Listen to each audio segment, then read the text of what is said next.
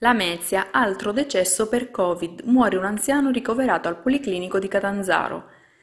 Si aggrava il numero di vittime per Covid in Calabria, è deceduto al Policlinico di Catanzaro un paziente di 87 anni di Lamezia. Le condizioni dell'uomo affetto da coronavirus si erano aggravate negli ultimi giorni e per lui era stato necessario il ricovero in terapia intensiva. L'anziano, secondo quanto si apprende, aveva anche altre patologie. Sale a 106 il numero di vittime in Calabria per coronavirus da inizio pandemia. Per Teleionio, Maria Caterina Sanso. Coronavirus è morta un'infermiera di 56 anni di Girifalco. Un'infermiera di 56 anni, in servizio nell'unità Breast Unit dell'ospedale Pugliese Ciaccio di Catanzaro, è morta dopo essere stata ricoverata nei giorni scorsi per coronavirus. Si tratta del primo caso di decesso di una dipendente del sistema sanitario calabrese. La donna, che soffriva di altre gravi patologie, era risultata positiva ed era stata ricoverata nel Policlinico Universitario di Catanzaro, ma è deceduta stamani per le complicanze della malattia. L'infermiera era residente a Girifalco e la sua morte è stata confermata anche dal sindaco della cittadina Pietrantonio Cristofaro. Un dolore immenso colpisce oggi la nostra comunità. Il Covid-19 ha portato via una nostra giovane concittadina. La donna ricoverata nei giorni scorsi, affetta anche da altre patologie, ha spiegato il sindaco, è deceduta stamattina. Ai suoi cari va tutta la vicinanza della comunità di Girifalco in questo momento di profondo dolore ed immensa tristezza. È morta una donna ospite della casa alloggio di Spezzano Piccolo.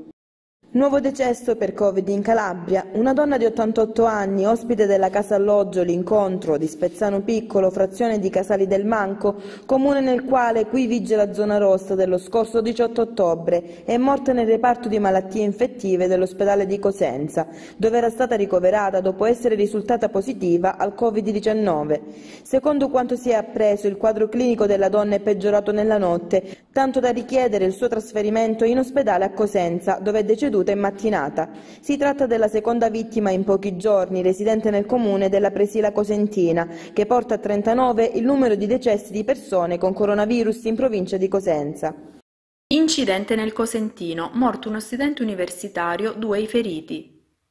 Un morto e due feriti è il tragico bilancio di un incidente stradale che si è verificato nella serata di domenica sulla strada provinciale 241, nei pressi di Mongrassano Scalo. La vittima è Emanuele Molinaro, studente universitario di 22 anni, residente a Torano. I tre giovani erano a bordo di una Panda che per cause ancora da accertare è uscita di strada. Molinaro è stato sbalzato fuori dall'auto ed è morto sul colpo. I feriti sono stati trasportati all'ospedale di Cosenza dal 118. Carabinieri e vigili del fuoco sono accorsi sul luogo dell'incidente per ricostruirne le cause. Per Teleionio Maria Caterina Sanso. Operazione Oro Verde, a Sellia Marina, otto arresti. Questa mattina i carabinieri del nucleo investigativo del comando provinciale di Catanzaro, unitamente a quelli dei comandi provinciali di Crotone e Reggio Calabria, coadiuvati dai carabinieri dello squadrone eliportato cacciatori di Vibo Valencia, hanno dato esecuzione ad un'ordinanza di custodia cautelare personale nei confronti di otto soggetti, sia di nazionalità italiana che straniera, fra cui anche un soggetto richiedente asilo politico indagati per coltivazione e commercio di sostanza stupefacente di tipo marijuana. Il provvedimento è stato emesso dal giudice per le indagini preliminari del Tribunale di Catanzaro su richiesta della Procura della Repubblica Direzione Distrettuale Antimafia di Catanzaro con il sostituto procuratore Veronica Calcagno ed il coordinamento del procuratore aggiunto Vincenzo Capomolla e del procuratore della Repubblica di Catanzaro Nicola Gratteri. L'attività investigativa convenzionalmente denominata Oro Verde, delegata appunto al nucleo investigativo del Comando Provinciale di Catanzaro, è sviluppata attraverso attività tecniche di intercettazione e riprese video, ha consentito di documentare il coinvolgimento degli indagati nella messa a dimora di due floride piantagioni di canapa indiana per complessive 9.000 piante all'interno di un'azienda ortofloro-vivaistica di Sellia Marina del valore di oltre 9 milioni di euro con impianto di irrigazione, sistema di ventilazione ad aria calda e un ambiente destinato all'essiccazione anche delle infiorescenze. Si tratta di una piantagione di marijuana realizzata nell'azienda ortofloro-vivaistica di Sellia Marina su commissione di soggetti provenienti dall'area della piana di Gioia Tauro con una parte della sostanza commercializzata anche nel territorio del comune di Cutro.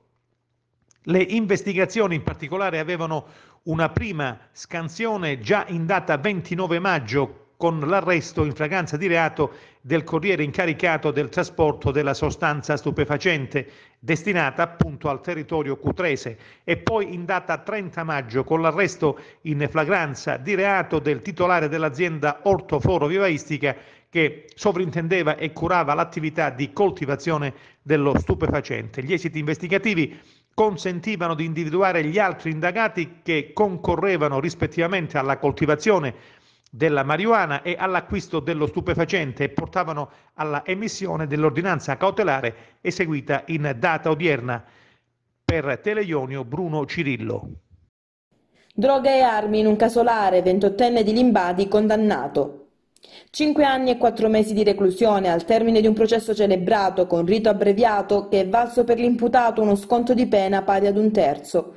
Questa è la sentenza del GUP del Tribunale di Vibo Valentia nei confronti di Danilo Schimio, 28 anni di Mandaradoni, di Limbadi, arrestato nell'ottobre dello scorso anno poiché sorpreso con 11 kg di marijuana, 688 grammi di cocaina, una pistola con matricola brasa ed un rilevatore di microspie. Erano stati carabinieri della stazione di Limbadi unitamente al nucleo cinofili di Vibbo ad arrestare Danilo Schimio al termine di una perquisizione domiciliare estesa anche a un casolare rurale nella sua disponibilità.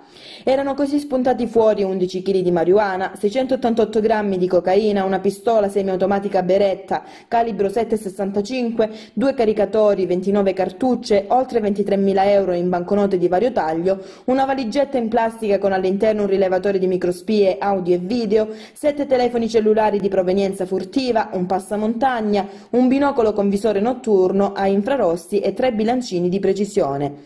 Tutto il materiale era stato sequestrato, Schimio nel giugno scorso aveva lasciato gli arresti domiciliari.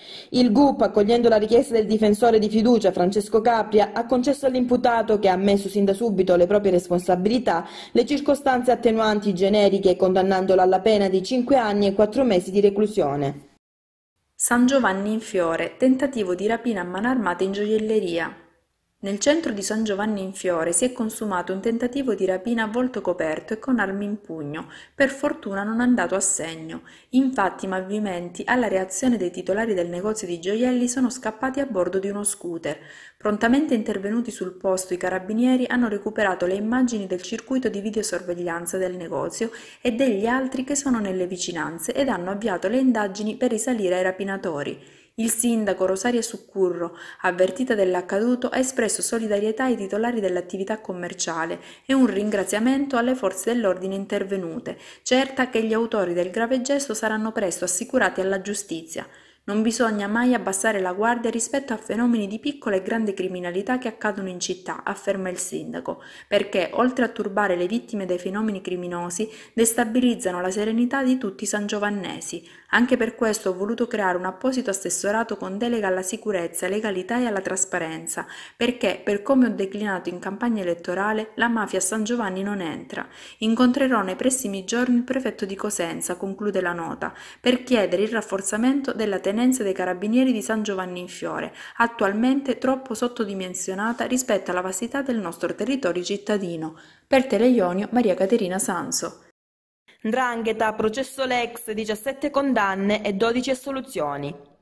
Si è concluso con 17 condanne e 12 assoluzioni il processo Lex celebrato davanti al giudice del Tribunale di Palmi, nato in seguito a un'operazione dei Carabinieri coordinata dalla DDA di Reggio Calabria nei confronti della Cosca Ferrantino Chindamo e Lamari di Laureana di Borrello. La pena più pesante è stata inflitta al boss Angelo Lamari e a suo figlio Mattia, condannati rispettivamente a 18 anni e 13 anni di carcere. Sempre a 13 anni di carcere sono stati condannati Fabio Mastroianni anni Vincenzo Lamari e José Signorello. Il Tribunale inoltre ha inflitto 15 anni di reclusione a Giuseppe Pititto. Per gli altri 11 imputati condannati, i giudici hanno stabilito pena da 10 mesi a 5 anni di carcere.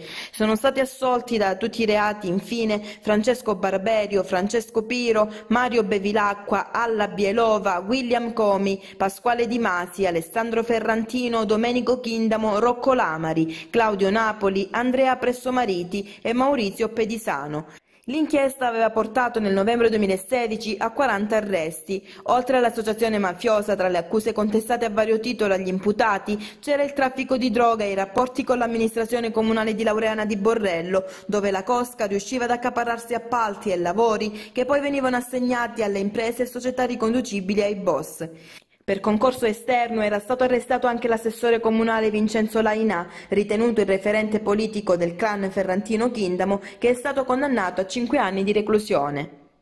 Prescriveva narcotici illecitamente, rintracciato a Gerace un medico latitante ricercato negli Stati Uniti. Era in auto a Gerace ed è stato fermato da un normale posto di blocco, ma il medico romano Luigi Palma, detto Jimmy Palma, era latitante ed i carabinieri della compagnia di Locri lo hanno arrestato in esecuzione di un mandato della Corte d'Appello di Roma del 20 maggio 2020, in riferimento al decreto di estradizione verso gli Stati Uniti emesso dal Ministro della Giustizia il 7 agosto 2019. Negli USA, insieme ad un altro medico italiano, gestiva due cliniche in Florida e nel Tennessee, che hanno dispensato illecitamente antidolorifici, ossicodone, ossimorfone e morfina, che secondo l'indagine dell'FBI che ha portato alla sua condanna, ha garantito a Jimmy Palma e ai suoi soci un giro d'affari di 21 milioni di dollari in nero. Il medico oculista 54enne è accusato di Phil Mills, che letteralmente può essere tradotto come un mulino per pillole. È l'espressione che in USA da vent'anni descrive una struttura illegale che somiglia ad una normale clinica del dolore ma prescrive antidolorifici narcotici senza anamnesi, monitoraggio medico o documentazione. L'inchiesta dell'FBI è del 2018, quando nel mirino sono finiti oltre 100 spacciatori collegati a gruppi di pazienti che si presentavano nelle cliniche gestite dalla Urgent Care and Surgery Center Enterprise, la società dei medici romani Luigi Palma e Luca Sartini. Il sistema era semplice e prevedeva che i pazienti, il più delle volte tossicodipendenti, tenessero una parte dei farmaci loro prescritti dando il resto agli spacciatori che avevano pagato le loro visite mediche. Gli oppiacei finivano così nel mercato nero e circa 700 pazienti aziendali UCSC sono morti, è scritto nell'atto d'accusa, e una percentuale significativa di quei decessi, direttamente o indirettamente, sono stati il risultato di un sovraddosaggio di stupefacenti prescritti. Nel 2017 Palma aveva lasciato la Florida ed era rientrato a Roma, dove era stato arrestato nel 2018. Scarcerato per decorrenze dei termini, dal maggio scorso si era reso irreperibile, quando era stato spiccato nei suoi confronti il nuovo ordine d'arresto della Corte d'Appello Capitolina. Irreperibilità finita con l'arresto dei carabinieri. Per Teleionio, Anna Maria Colabraro. Furto con spaccata in pieno centro a Vibo, indaga la polizia. Furto con spaccata lungo Viale Matteotti a Vibo Valencia a farne le spese nel pomeriggio di ieri tra le 14 e le 14.30 a un negozio di frutta e verdura situato lungo la centralissima via nelle vicinanze dell'ospedale Iazzolino. Qui ignoti malviventi hanno infratto la vetrina prelevando la cassa dell'esercizio commerciale. Ancora da quantificare il provento del colpo. Sul posto si è portato personale della squadra volante della questura di Vibo, che ha avviato le indagini allo scopo di risalire agli autori del fattaccio.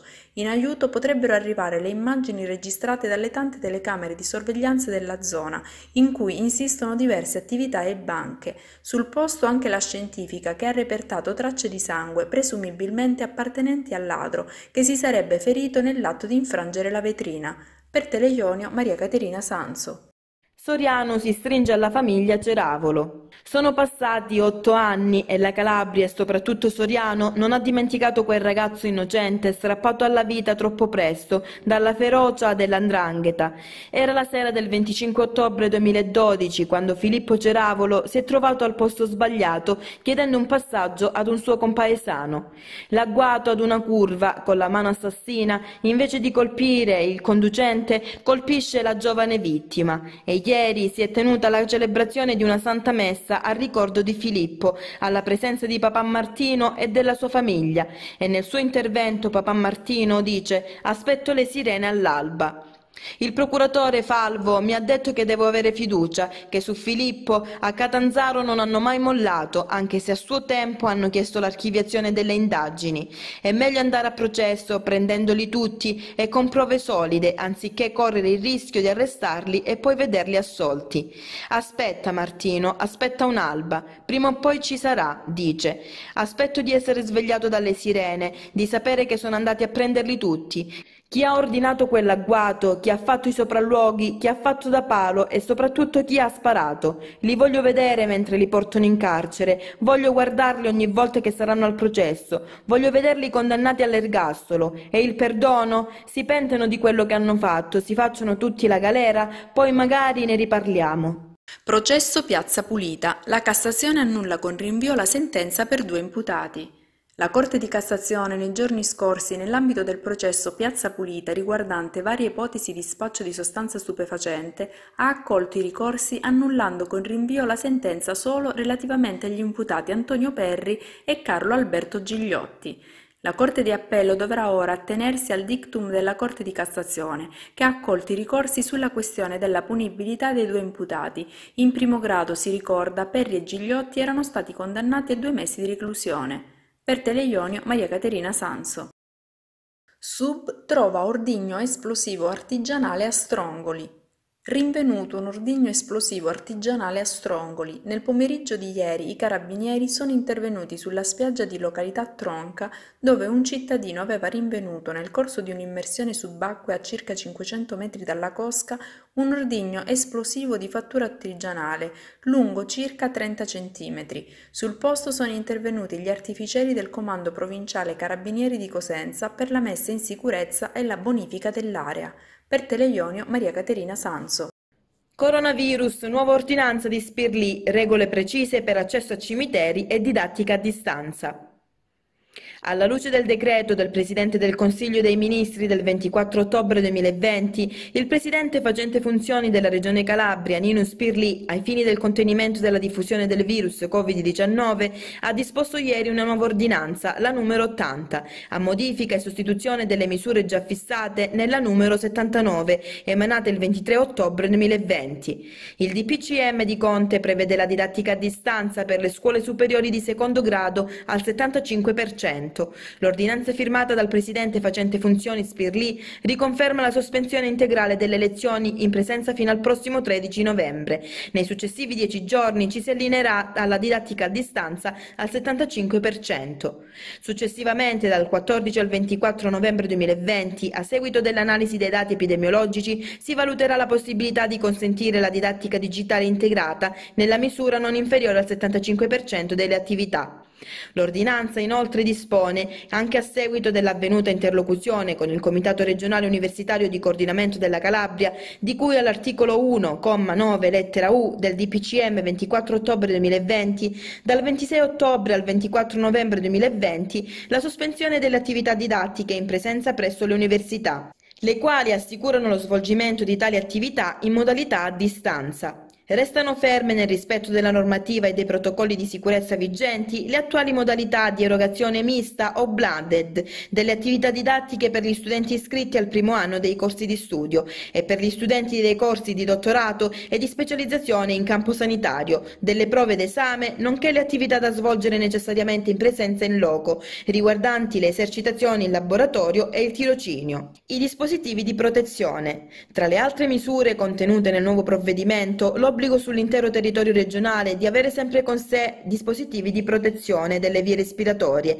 da indossare anche nei luoghi al chiuso, diversi dalle abitazioni private e in tutti i luoghi all'aperto, a eccezione dei casi in cui per le caratteristiche dei luoghi o per le circostanze di fatto sia garantita in modo continuativo la condizione di isolamento rispetto a persone non conviventi e comunque con salvezza dei protocolli e delle linee guida anticontagio previsti per le attività economiche, produttive, amministrative educative e sociali, nonché dalle linee guida per il consumo di cibi e bevande. Sono esentati i soggetti che stanno svolgendo attività sportiva, i bambini d'età inferiore ai 6 anni, i soggetti con patologie o disabilità incompatibili con l'uso della mascherina, nonché coloro che per interagire con i predetti versino nella stessa incompatibilità.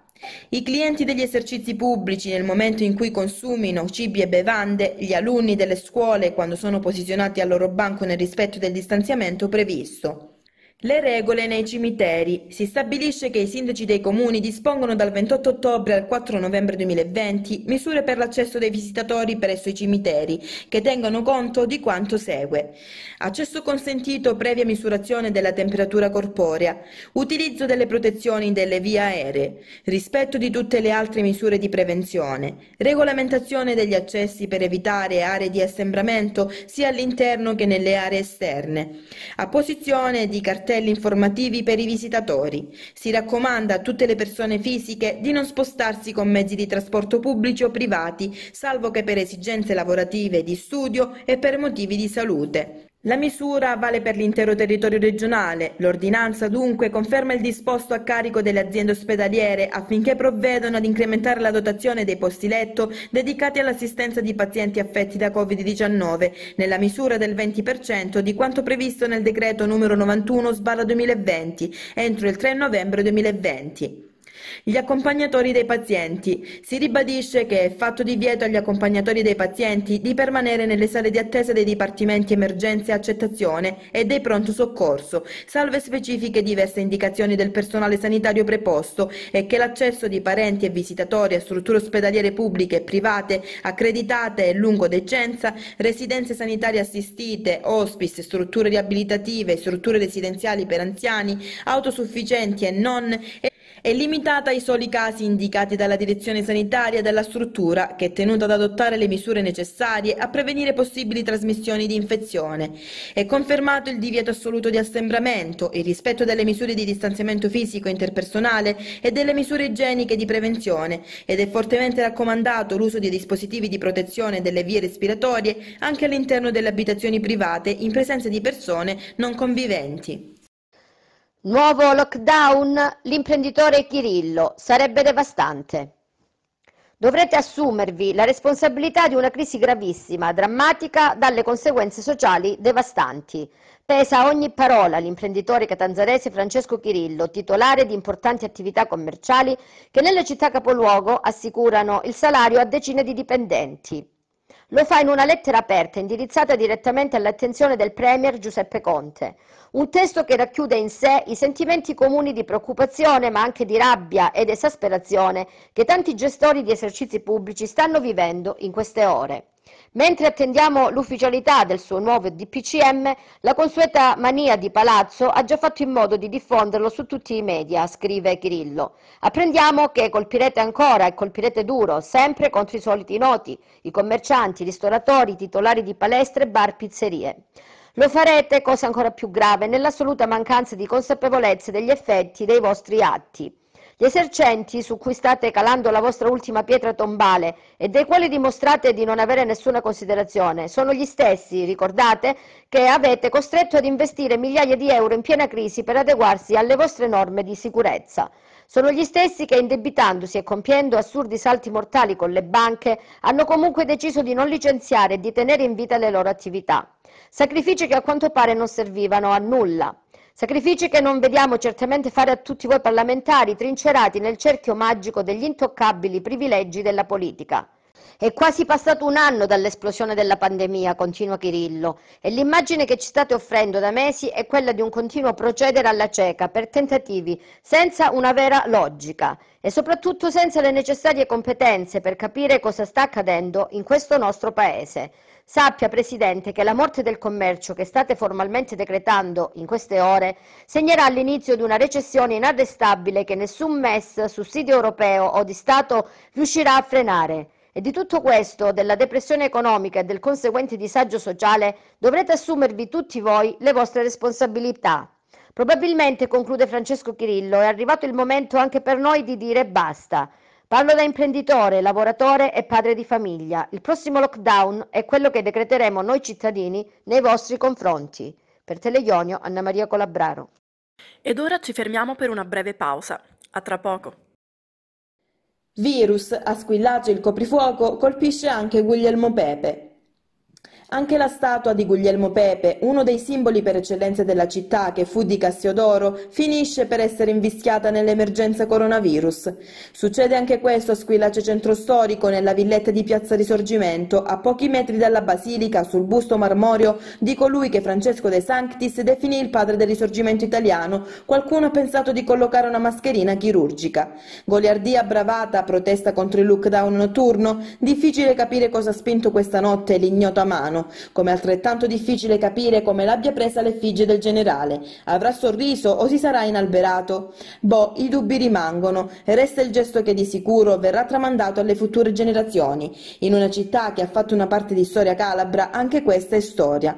A proposito di cenni dal passato, Guglielmo Pepe, Squillace, 13 febbraio 1783, Torino, 8 agosto 1855, è stato un patriota e generale italiano nell'esercito del Regno delle Due Sicilie, sposato con Marianna Coventry e fratello di Florestano Pepe. Entrato nell'esercito in giovane età nella scuola militare della Nunziatella, dove venivano formati gli ufficiali dell'esercito del Regno di Napoli. Nel 1799 a Napoli si schierò a difesa della Repubblica parte partenopea.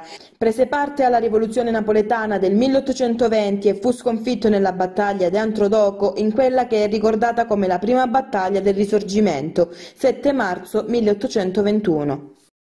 Poste italiane pensioni di novembre in pagamento dal 27 ottobre. Nelle province di Catanzaro e Vibo Valencia le pensioni del mese di novembre verranno accreditate a partire dal 27 ottobre per i titolari di un libretto di risparmio, di un conto bancoposta o di una Postpay Evolution. Lo comunica Poste Italiane. I titolari di carta Postamat, carta libretto o di Postepay Evolution potranno prelevare i contanti dai 103 ATM Postmat disponibili nelle due province senza bisogno di recarsi allo sportello. Gli ultra 75 anni possono delegare al ritiro i carabinieri e negli uffici abilitati è possibile prenotare il proprio turno tramite WhatsApp. In funzione di una nuova ed importante diffusione del virus Covid-19, l'azienda ricorda l'esigenza di agire con responsabilità nel rispetto delle indicazioni delle autorità. In tal senso la volontà di continuare a garantire un servizio essenziale per la vita del nostro Paese, coniugata con la necessità di tutelare la salute di clienti e dipendenti, impone l'adozione di provvedimenti rispondenti alle disposizioni normative attualmente in vigore. Pertanto coloro che non possono evitare di ritirare la pensione in contanti in un ufficio postale dovranno presentarsi agli sportelli rispettando la turnazione alfabetica prevista dal seguente calendario che potrà variare a seconda del numero di giorni di apertura dell'ufficio postale di riferimento. I cognomi dalla A alla B martedì 27 ottobre, dalla C alla D mercoledì 28 ottobre, dalla E alla K giovedì 29 ottobre, dalla L alla O venerdì 30 ottobre, dalla P alla R sabato mattina 31 ottobre, dalla S alla Z lunedì 2 novembre. Per Teleionio Anna Maria Colabraro. Ed ora la nota dell'esponente del Partito Democratico Emanuela Neri. Continua con tutte le difficoltà del momento il lavoro all'interno della segreteria provinciale. Obiettivo principale tracciare un percorso che possa rimettere in cammino il partito nella nostra provincia, soprattutto in una fase delicata come quella che stiamo vivendo. Il segretario provinciale Gianluca Cuda ha immaginato di assegnarmi una delega che ritengo molto importante, aree interne e pari opportunità, entrambi temi a cui tengo molto e sui quali tanto impegno ho messo negli anni di attività sia politica che sociale. Oggi diventa forse tutto un po' difficile, da marzo è cambiato il mondo, dunque non è stato e non sarà semplice. Credo però che se si metteranno in campo scelte giuste e audaci si potrà venire fuori da questo triste periodo. Per anni si è sentito parlare di aree interne, da decenni si parla di strategie e investimenti. Purtroppo però i frutti ad oggi non sono tangibili e l'abbandono negli anni di questi territori diventa un macigno in questo momento. Le imprese che resistono ancora, le nostre poche risorse, le intelligenze rimaste stanno subendo un ulteriore colpo in un territorio già profondamente provato. C'è bisogno di cambiare strategia, c'è bisogno di riorganizzare, di ripartire da interventi concreti e tangibili che da subito siano fonte di respiro. Ridare fiducia ai cittadini, intervenire con aiuti ad operatori economici, alle famiglie, potenziare i servizi, tutelare la scuola e arginare il fenomeno della dispersione scolastica economica che potrebbe in questa fase acuirsi ancora di più con il danno sociale e culturale che questo comporta. Coinvolgere in progetti importanti gli operatori turistici aiutandoli a resistere per essere pronti appena si potrà tornare alla normalità. Se non faremo questo, rischiamo davvero al rientro da questo bruttissimo sogno di non trovare più nessuno, nonostante la paura, nonostante le tante difficoltà, forse attraverso l'immissione di fondi importanti, da un momento di crisi profonda si può arrivare ad aprire ad un possibile sviluppo delle nostre aree. Tanti sono stati gli aiuti economici e tanti ancora sembra stiano per essere messi in campo. Per esempio, notizie di questi giorni è proprio quello che vede risorse statali arrivare in Calabria per ben 10 milioni di euro distanti al sostegno della rete dei servizi e scuole per l'infanzia.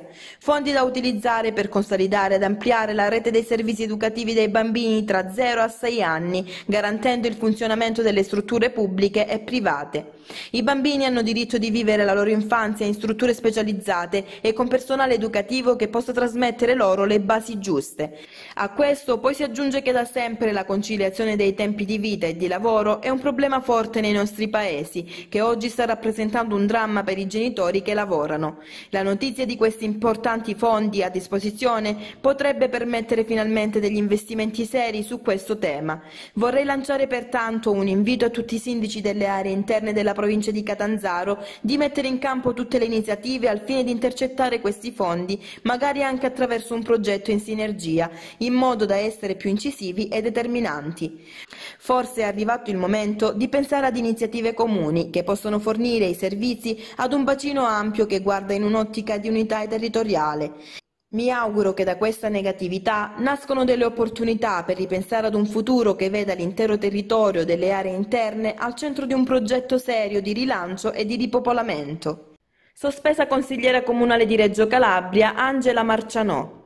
La prefettura di Reggio Calabria ha accertato la sussistenza della causa di sospensione dettata dalla legge Severino nei confronti del consigliere comunale Angela Marcianò, che nella qualità di candidata a sindaco ha ottenuto il seggio in consiglio comunale. Nei confronti di Angela Marcianò, infatti, ex assessore nella prima giunta del sindaco Falco Matà, l'8 luglio 2019 è stata emessa una sentenza di condanna in primo grado, quindi ancora non definitiva, nel troncone abbreviato del processo Miramare. Il GUP ha condannato Marcianò, pena sospesa a un anno di reclusione per falso e abuso d'ufficio.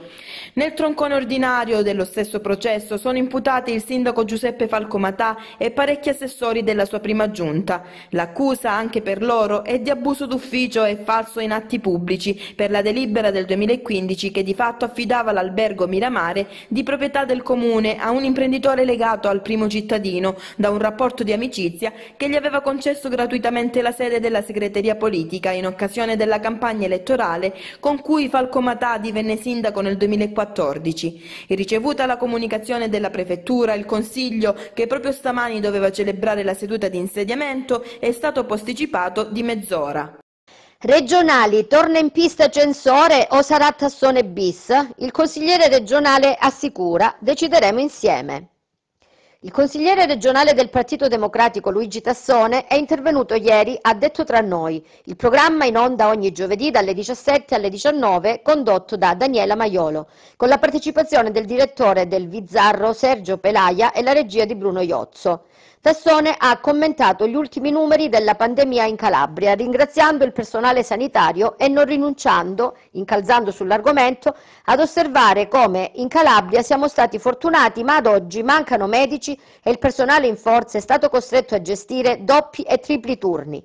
I posti di terapia intensiva sono diventati 154 rispetto ai 148 di prima, ha aggiunto. Dunque direi che la Regione Calabria non ha fatto grandi passi in avanti. Sul ritorno al voto e le finestre possibili per il rinnovo degli organi elettivi della Regione, Tassone ha dichiarato che come gruppo PD sarebbero pronti al ritorno al voto, ma in questo periodo un'interlocuzione col governo è fondamentale. E sulla possibilità di una sua ricandidatura ha aggiunto, come è noto sono molto legato a Bruno Censore, sia da un punto di vista politico che umano, dunque valuteremo insieme come gruppo e ci confronteremo su questa possibilità. Sul totonomi per il candidato alla presidenza del centro-sinistra, Tassone è stato poi chiaro, proponendo un taglio netto rispetto al recente passato. Si è aperta una discussione a livello nazionale, anche rispetto ai presupposti di aprire ai 5 Stelle, al movimento di Carlo Tanzi e alle forze sane della politica calabrese. Attualmente mi sento di dire che si debba tornare al primato della politica perché, anche se Pippo Callipo è persona per bene e grande imprenditore, non ha dimostrato forza politica abbandonando un'intera coalizione. L'asse si è poi spostato a livello locale. Tassone ha dunque commentato la sconfitta alle ultime amministrative del Movimento Uniti per Serra, di cui fa parte. Siamo tutti responsabili della sconfitta, anche se liberamente non ha stravinto.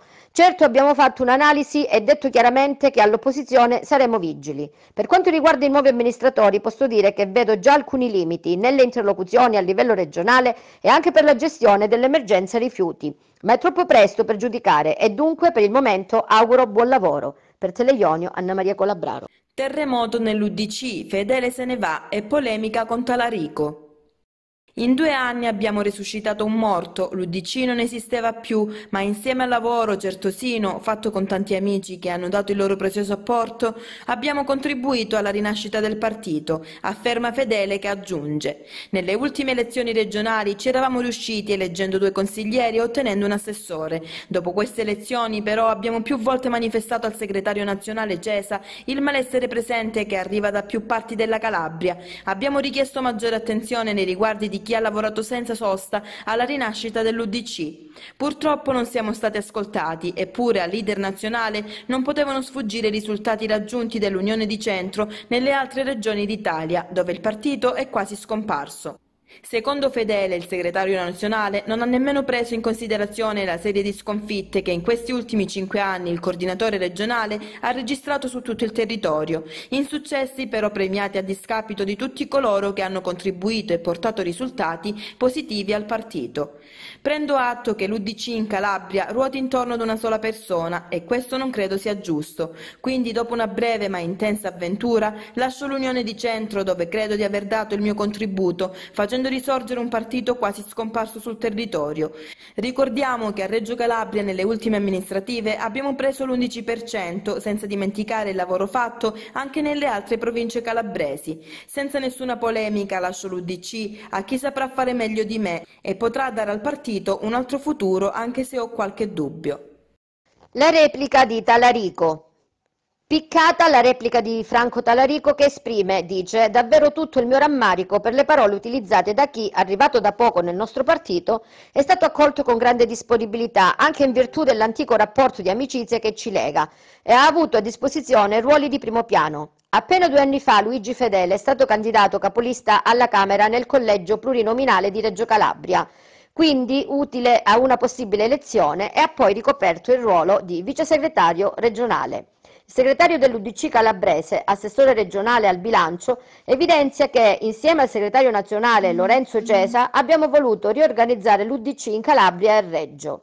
Dopo l'ottimo risultato ottenuto alle ultime elezioni regionali, quando il partito ha raggiunto l'11%, in riva allo stretto, alle ultime comunali, non è stata neanche presentata la lista. È stato dunque, prosegue Talarico, assolutamente necessario, così come condiviso con Cesa e gli altri esponenti dell'UDC, procedere ad un riassetto sul territorio della città metropolitana.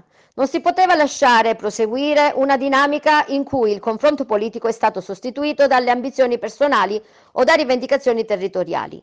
In questi mesi saremo chiamati ad un grande sforzo e ad un grande senso di responsabilità in un momento storico così complicato e tenere viva l'eredità politica e morale che ci ha lasciato la governatrice Iole Santelli, purtroppo scomparsa prematuramente, ma che in pochi mesi ha dato la dimostrazione che per la nostra regione esiste una speranza e che il buon governo è possibile.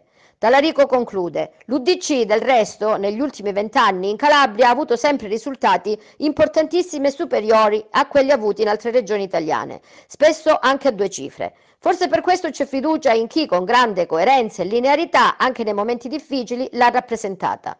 Non mi pare dunque che nessuno abbia potuto resuscitare un partito che è sempre stato vivo e vegeto. Forse è vero il contrario. L'UDC ha resuscitato qualcuno che era rimasto fuori dal palcoscenico politico. Per Teleionio, Anna Maria Colabraro. Anche Fedele lascia l'UDC, Martino, partito allo sbando, gestione fallimentare. L'ultimo grande politico dello scudo crociato calabrese abbandona l'UDC, davvero l'ultimo, dopodiché non ci resta più nessuno se non macerie. Il partito ormai è sparito, distrutto, annientato da chi ha voluto soltanto coltivare il proprio interesse. Così il sindaco di Capistrano Marco Martino che commenta le vicende del suo ex partito.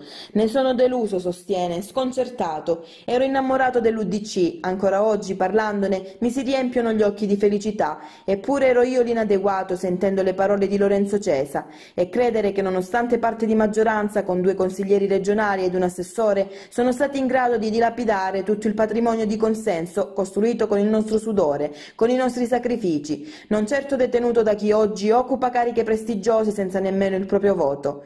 Non avere rispetto nemmeno degli elettori, prosegue, di chi ha buttato il sangue per lunghissimi anni. Come si può essere così narcisisti? Gli ultimi anni dei vertici nazionali sono purtroppo da considerarsi inadeguati sotto ogni aspetto. Lo dimostrano i risultati, lo dimostra la mancanza del nostro simbolo alle varie competizioni elettorali in tutte le regioni, lo dimostrano i risultati fallimentari riscontrati ormai da tempo. Un partito ormai svenduto a coalizioni di maggiore interesse solo per ricercare qualche posto utile nelle istituzioni che contano. Il grande dei Gasperi si sarà rivoltato nella tomba. In quanto a te, caro Gigi, conclude riferendosi a Fedele, sono convinto che da oggi, insieme al resto del gruppo, si possa lavorare per un serio progetto che possa finalmente vedere vedere protagonisti gli elettori e non il solo al comando.